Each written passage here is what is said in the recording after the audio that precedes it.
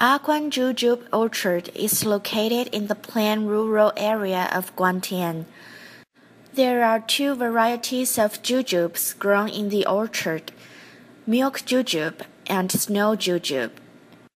The owner refuses to use sweeteners and would rather spend twice the effort and time to irrigate and nurture the jujubes so as to preserve the most pristine taste and natural sweetness of jujubes.